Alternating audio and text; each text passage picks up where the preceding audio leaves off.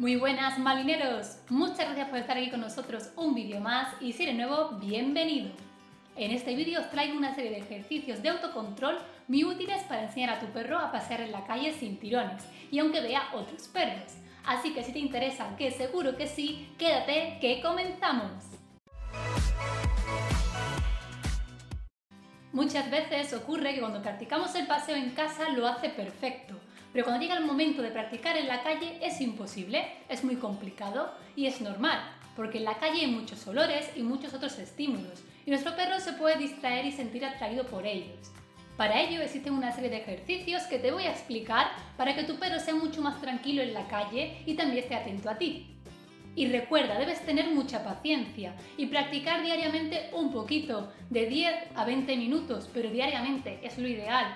Así que a partir de ahora te voy a enumerar una serie de ejercicios que os va a venir muy bien. 1. Salir de casa. Este ejercicio consta de salir a la calle tranquilamente. Es decir, no saldremos a la calle si nuestro perro está tirando y muy nervioso. Al principio este momento puede ser muy estresante, porque es normal, el perro quiere salir, quiere ir a la calle, se pone muy nervioso y tira de la correa. Pero paciencia y poquito a poco podemos solucionar esto, pues esto puede ser hasta peligroso, podríamos caernos o tener un accidente. Entonces te propongo que antes de abrir la puerta le digas a tu perro que se siente. Una vez que está sentado y pacientemente esperando, es cuando puedes coger tú las llaves y abrir la puerta. Y muy atento, si tu perro se levantara, debes decirle que no y volverle a decir que se siente. Si el perro permanece sentado y pacientemente esperando y tenemos la puerta ya abierta, es momento de decirle el comando liberador. La palabra que tú quieras, por ejemplo la palabra vamos, con ese comando lo que le estaremos diciendo a nuestro perro es que ya puede salir a la calle. Sí.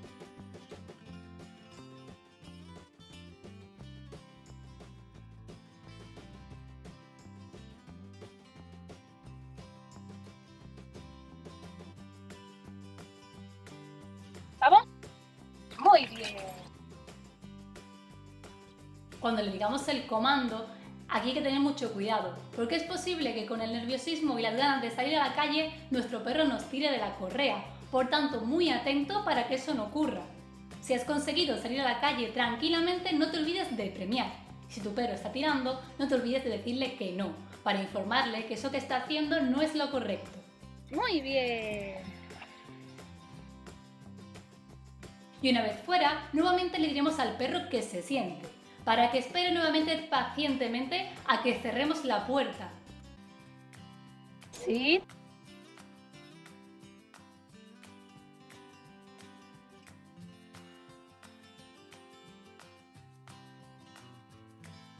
Y aquí pues igual, si nuestro perro está tranquilo y haciéndolo bien, le premiaremos y comenzaremos a pasear.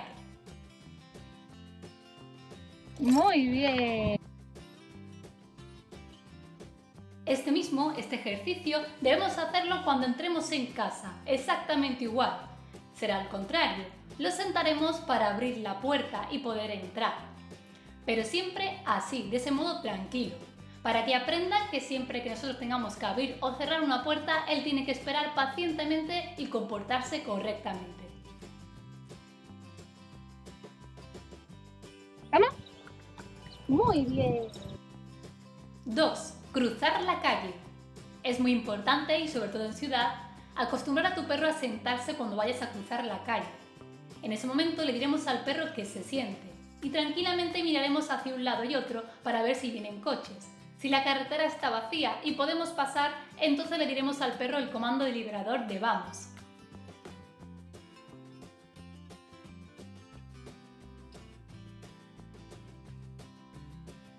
Ahí no.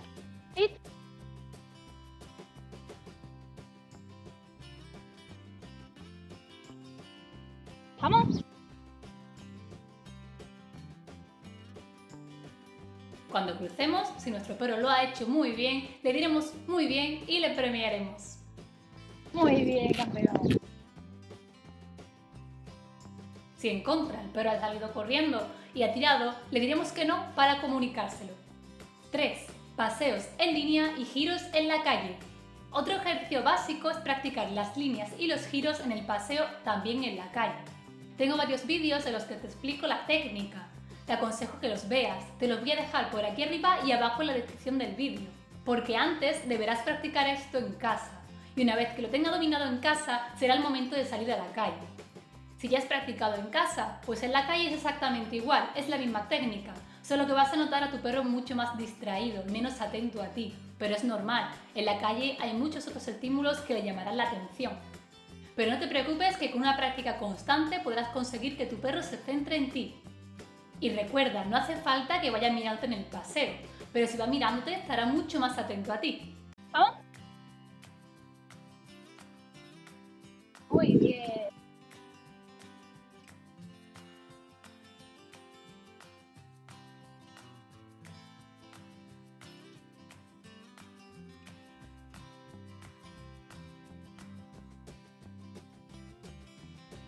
Muy bien.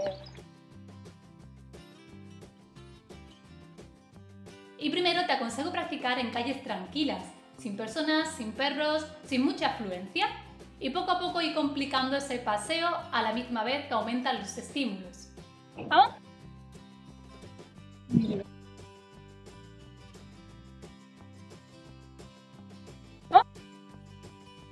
Muy bien.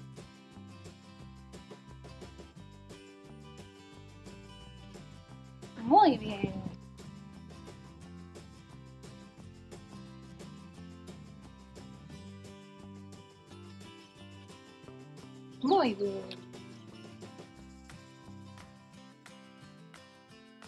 Iron, sit. Bien.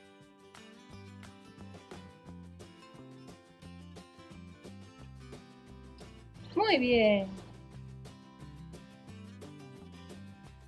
4. Si me detengo, él se sienta. Este ejercicio es muy útil para que tu perro coja de rutina sentarse cuando te pares. Por ejemplo, si estáis paseando y tienes que atender una llamada telefónica. Para conseguir que tu perro se siente cada vez que tú te pares en el paseo, es tan simple como habituarlo a ello. Para ello, siempre que pases con él, habitúalo a decirle que se siente cuando tú te pares. Y cuando lo has repetido en muchas ocasiones y por largo tiempo, tu perro de un modo automático tenderá a sentarse cuando te quedes quieto. Muy bien.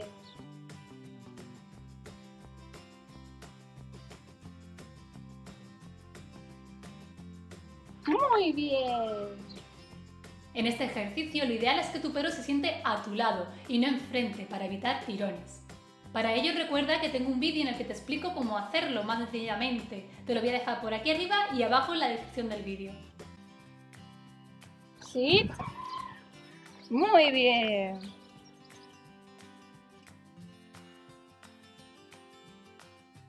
Sí. Muy bien.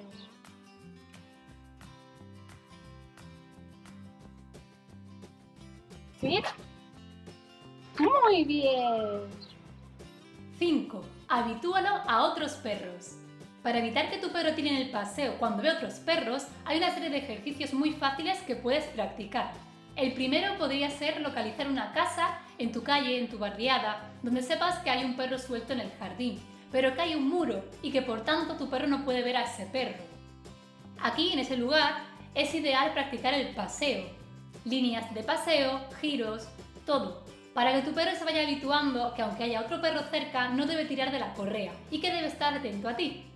Y también es aconsejable practicar las posiciones, el sentado, el tumbado, cerca de esa casa. Si ves que te cuesta mucho, puede ser normal, porque al principio pues es normal. Por eso te aconsejo que puedes practicar antes algo más lejos de ese lugar y poco a poco ir acercándote. Push. Muy bien.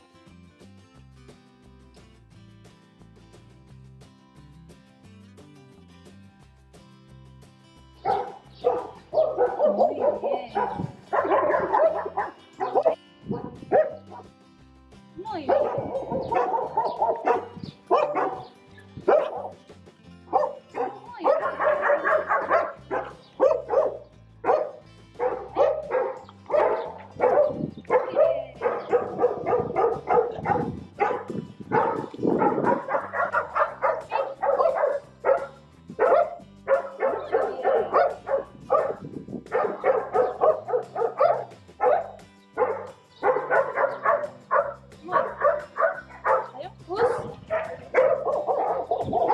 así.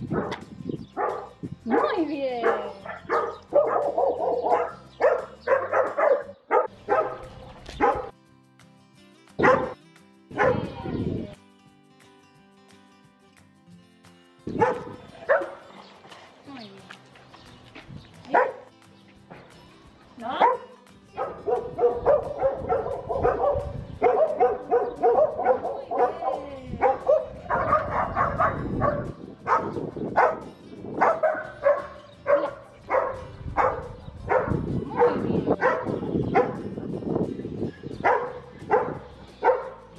Cuando veas que el perro ya domina esta situación, puedes buscar un amigo con un perro para practicar mucho más cerca o buscar una casa en la que los perros se puedan ver porque tenga una reja, por ejemplo, pero que nunca puedan acceder el uno al otro.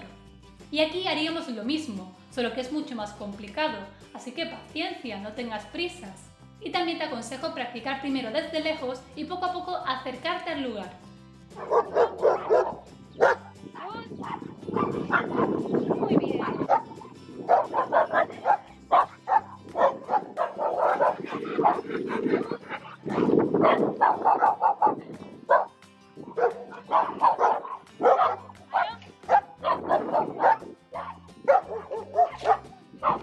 Y como siempre, si tu perro lo está haciendo bien, no te olvides de decirle muy bien y de premiarlo. Y si tu perro tira hacia el perro, dile no para demostrarle que eso no es lo que tiene que hacer.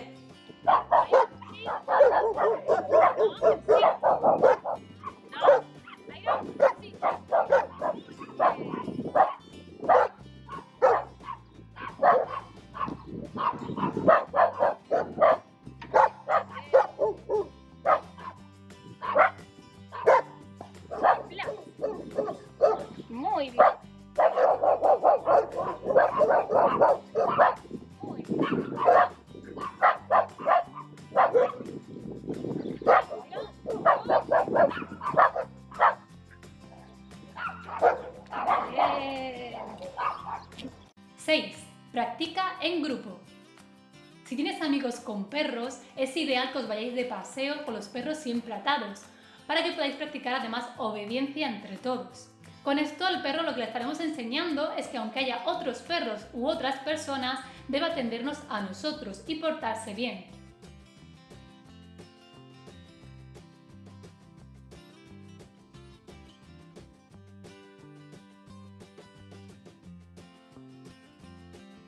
En conclusión, debes practicar también en la calle, llevar tu bolsa portapremios preparada, llena de premios, o el juguete si es lo que tu perro prefiere. Y practicar diariamente de unos 10 a 20 minutos. Y tener mucha paciencia, esa es la clave. Y con el tiempo verás grandes avances en tu perro. Y recuerda, si sigues estos consejos, acertarás. Si te ha gustado este vídeo, recuerda dar a like para que yo lo sepa. Si tienes alguna duda, déjala aquí abajo en comentarios. Y no te olvides de suscribirte a nuestro canal para aprender mucho más junto a nosotros. Y antes de despedirnos, hoy saludamos a nuestros queridos seguidores, a Jonathan y Dorón, a Franco, Masha y Aquiles, a Sergio y Hanna, y a Dani y a Baki. Y nos vemos aquí te espero en el próximo vídeo. ¡Hasta la próxima!